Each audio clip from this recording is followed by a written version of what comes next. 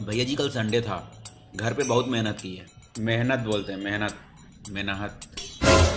मेहनत नहीं, मेहनत। मेहनत। मेहनत मेहनत। मेहनत मेहनत। मेह मेहनत मेहनत। एक मिनट, ऐसे नहीं। मेहनत मेहनत। लाला उसे मेहनत बोलते हैं, मेहनत। भैया, हम नहीं कहा पाएँगे, इतने दिन जौनपुर में कोई नहीं टोका हमको।